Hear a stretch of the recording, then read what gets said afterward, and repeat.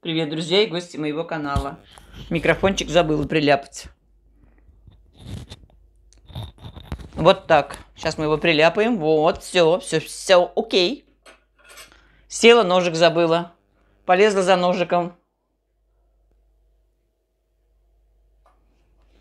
Ресторанный. Так, ладно. Да. Значится, у нас сегодня, друзья, что-то я как-то растеряна.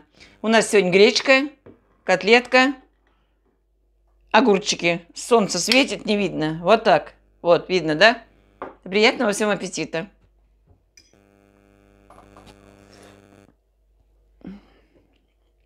Сегодня я ела рис. С утра да ела рис. А я думаю, надо что-то готовить.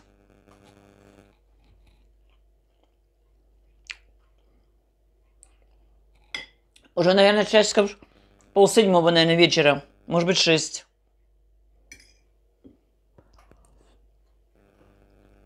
А я рис доела.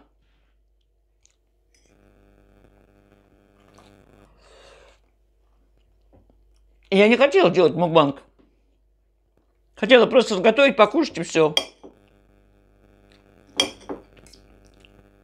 Ой, он прям хрустит. А потом думаю, нет, Таня.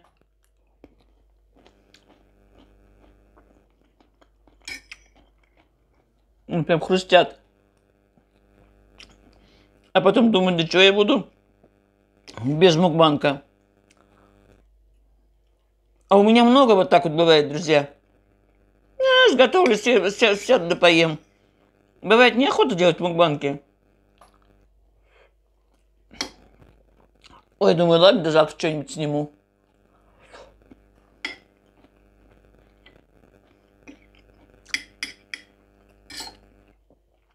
Надо снимать.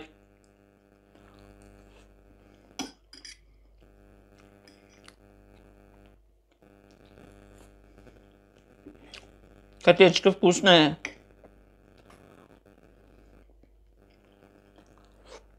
Ой. Мы жили когда в деревне. Посмотрите, мой барсик сел на окно. Но он меня видел, что я с тарелками шла. Тарелками. Тарелкой. Он видел меня, что мама пошла ням-ням.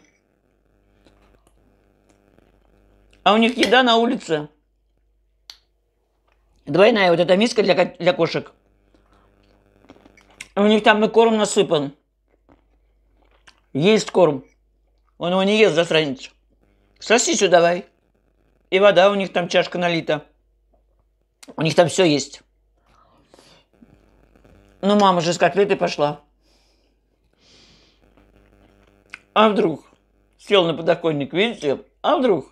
мама меня даст. И, в общем, короче говоря, про котлеты я что вам сказала, вкусные. В деревне мы жили, у нас и свиноматка была своя. Белая, обычная, вот свиньи, как вот раньше были в свинофермах. И черные у нас, э, не черные, они были, в общем, черный, черными пятнами. Ухи вот так висели у них. Длинные они сами по себе. Наверное, мясные были. Вот. По 4 штуки таких держали. Свиноматка. По 50 коз, друзья, мы держали. А вот без обмана, честно, честно, честно. А репьи, до сих пор помню репьи, как их выбирать. Как вспомнишь эти репьи выбирать. Ну, а репьи, кто не знает. Ну, городские они, может, не знают. А репьи такие круглые, и кончики у них острые. Как ежики. И вот в эти репьи пух вот так набьется, задолбишься вытаскивать. Пока вот раздерешь вот этот репей с этого пуха, вы представляете, накатался до такой степени туда. Я как вспомню, вот эти репьи мы выбирали. Ой. Недели две выбирали.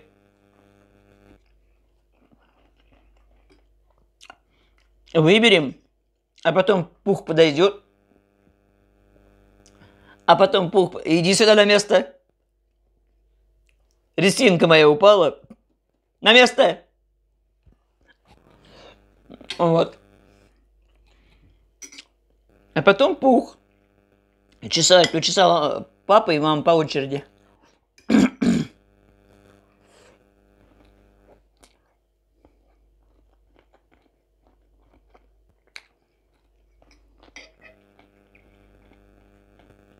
Тушенки делали.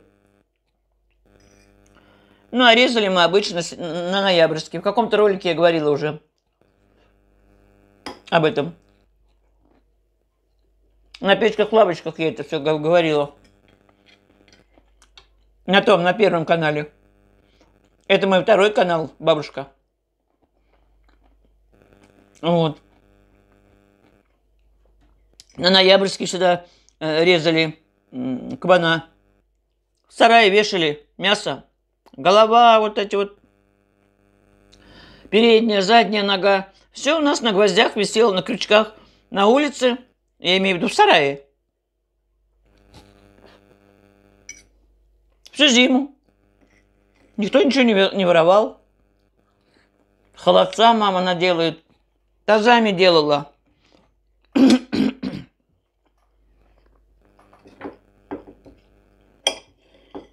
Друзья, по привычке микрофон висит, а я кричу.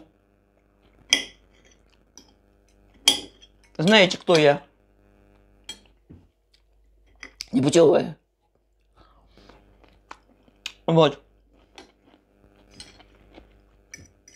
А сало сколько было? В коробах деревянных досками папа сбивал ящики. Здоровые были ящики, полные салом. Стояли-стояли эти ящики до самого, до самого, до следующих ноябрьских. Закалывали-то не одну свинью.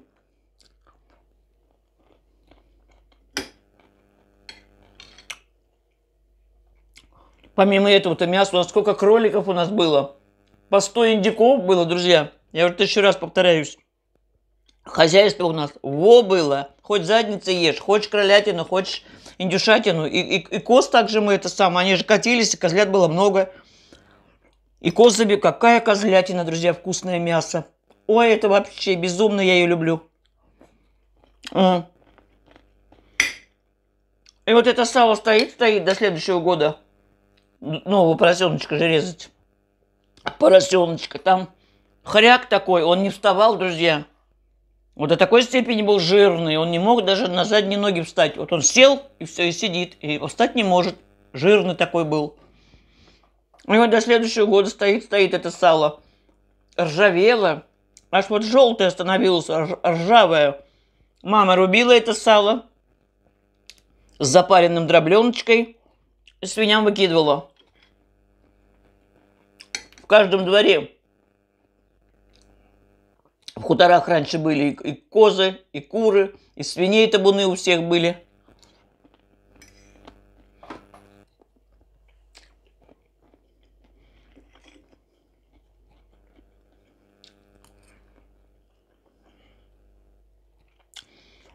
Я что-то... О чем я говорю, что отломила котлеточку с магазина. Там мясо, наверное, 0,000% мяса. Ой, говорю, вкусное. Сейчас мясо очень дорогое. Поэтому вот эту берем. Непонятно, что там. Но на вкус вкусное, конечно. Ой, друзья, что мы едим? Боже мой, что мы едим? Человечество, друзья, вымирает. Что не возьмись, мы же не знаем, что там. Тот же зефир,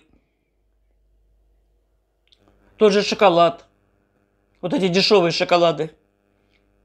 Да и вообще, мы не знаем, что мы едим. Что там внутри?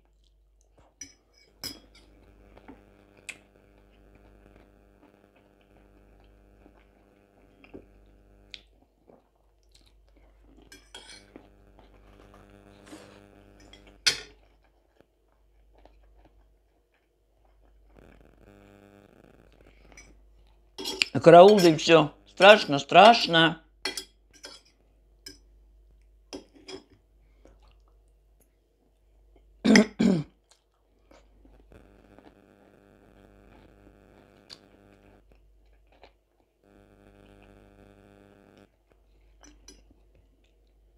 А моя вот эта тетя Зоя, которая этот дом продала,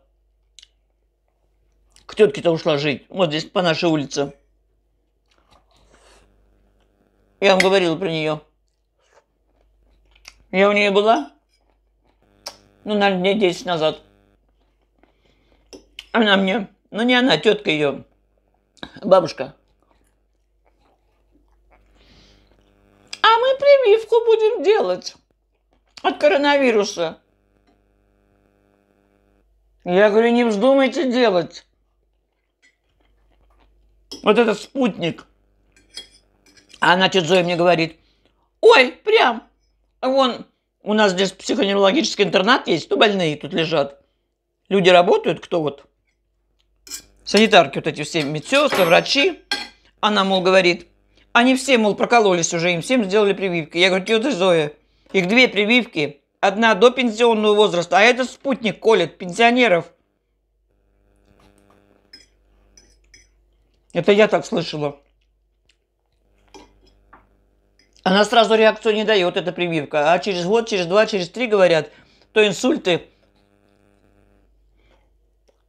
а то и раньше что-то с человеком случается. Внезапно. Вот так.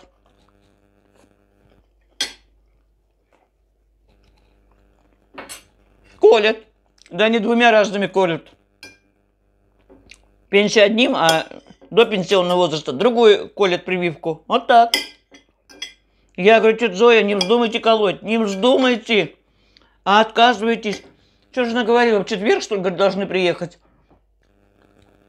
А я у них была в понедельник, по-моему. Ну, это... Ну, не помню, когда я у них была, может, две недели назад.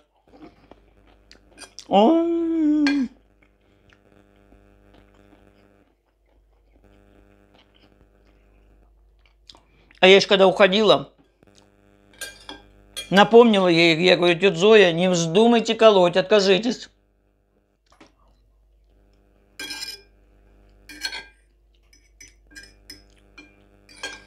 Я говорю, весь интернет, говорю, гремит.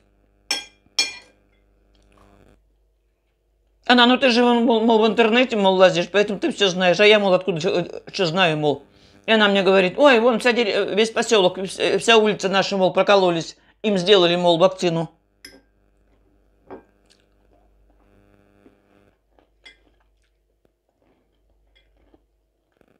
По, фамилии, по фамилиям даже назвала. Вот то-то, то-то, то-то, тот сделал. Старик. Бабушка вакцину.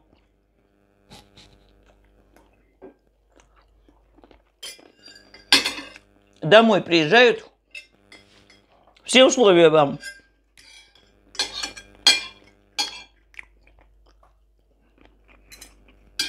Ужас. А еще